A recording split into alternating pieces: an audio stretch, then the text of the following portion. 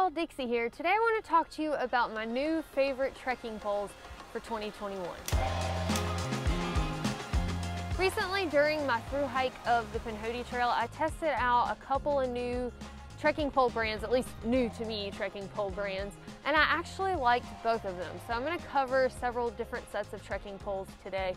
But my now go-to for 2021 is the Women's Leki Micro Vario Carbon Trekking Pole. That is a mouthful. I don't know why they get so crazy with these trekking pole names. One of the pros of these trekking poles is their packability. They break down more so than any other trekking pole I've had before, so they're very compact and I feel like that would be good if you're traveling a lot with them.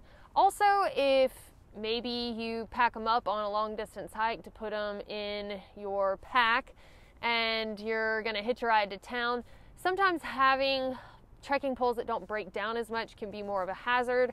So I like the way that these can pack down and really kind of tuck away. Also, they're really lightweight. They're about a pound for the pair, so eight ounces a piece, yet they feel durable. I didn't have any issues with the lock slipping and I use them, I believe, for about 150 to 200 miles. Next, they are extremely comfortable as far as the grips go. I normally prefer a cork grip on trekking poles just because I feel like they absorb sweat well and they don't leave my hands feeling just greasy and like they never get dry like foam or rubber grips can do.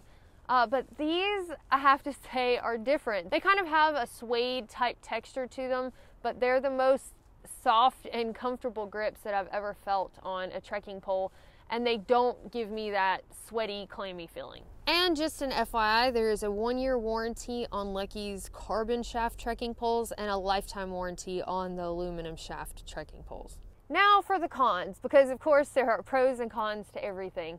The extension length on these trekking poles isn't going to be as long as unisex or men's trekking poles because they're made for women and women are typically shorter than men. So to get that 90 degree angle that you're looking for in your elbows, you have to make sure that you're within the range that these trekking poles are meant for. I'm 5'8 and they work pretty well for me fully extended. So if you're much taller than that, they may not work out well for you.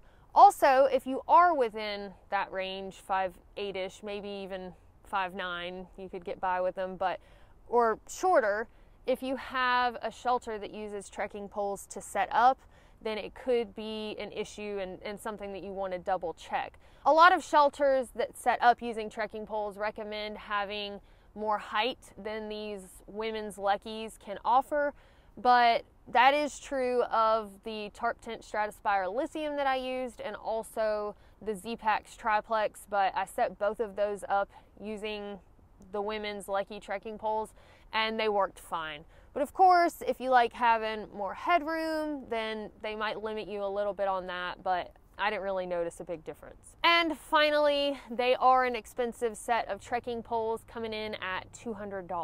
Leki does make a specific men's version trekking pole, but I don't know that they have the same comfortable grip. So if any of you men have used those, or even women, let me know if they've got that suede-like feel and they just seem to fit perfectly in your hands. All right, so if I was taller or for some reason the shelter I had needed longer trekking poles and for whatever reason I couldn't use the women's Leki trekking poles, then I would go back to old trusty, my Black Diamond Alpine Carbon Cork trekking poles.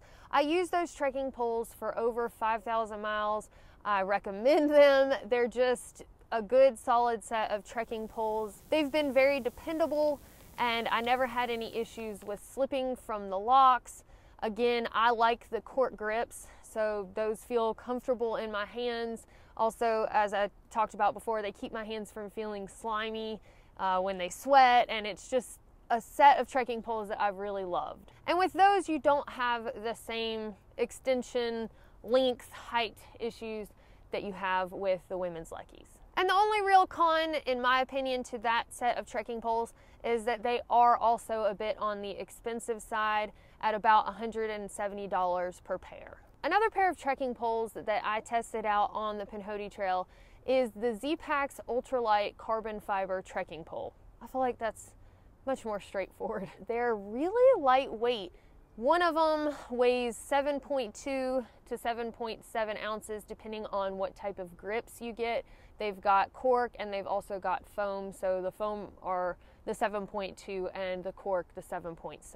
One of the interesting thing about the Zpacks trekking poles is they offer them individually and I've never seen anybody do that before. So for an individual pole, you can get it for $59 or for the pair, they're $99. And I thought that this was a really cool option because I know some people just want one trekking pole kind of as a walking stick, yet more lightweight.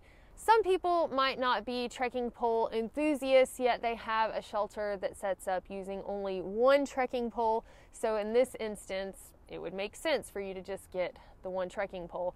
And it's nice because if you only want one trekking pole, you're not paying for the pair and then having two when you're only taking one out on trail. I use this set of trekking poles for a little over 100 miles or so. I didn't notice any sort of slipping from the trekking pole, and it seems like a pretty decent pair of trekking poles that are also more on the budget friendly side of things. As for the cons of the Zpacks trekking poles, they didn't feel quite as sturdy to me and they almost had a little bit more of a vibration than some of the other sets of trekking poles that I've used. And of course, I didn't perform any strength testing on these and you know I can't back that up with an experiment or numbers but it's just something about the way that they felt Again, I didn't have any issues, and I think that they would make it just fine for a lot of miles of trekking. Uh, but just compared to, to other trekking poles that I've used for thousands of miles. Also, the locks on this set of trekking poles are plastic. So while I still think if one were to snap off partially, you could still operate the lock and figure out a way to make it work. That is something that made me a bit hesitant. But again, they are on the budget friendly side of things and you usually get what you pay for. Finally, if you're looking for a set of trekking poles that's decent for under $25, then you might want to check out the Cascade Mountain Tech aluminum trekking poles. I got a pair on Amazon for $22.99 and I carried them with me when I did the Pine Mountain Trail at the end of last summer with my whole budget gear setup that was less than $500.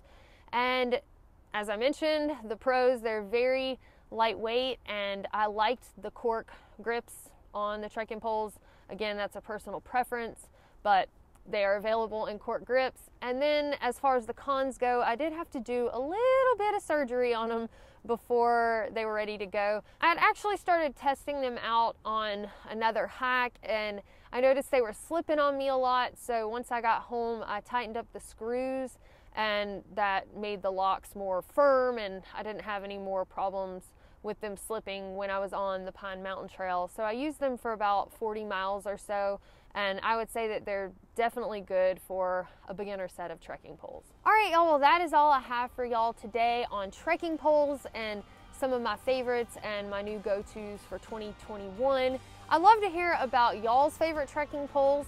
If you want to leave in the comments below your go-to pair and why you really like those. It might help some folks who are trying to decide what trekking poles they should get. Thanks for watching y'all and we'll see you next time.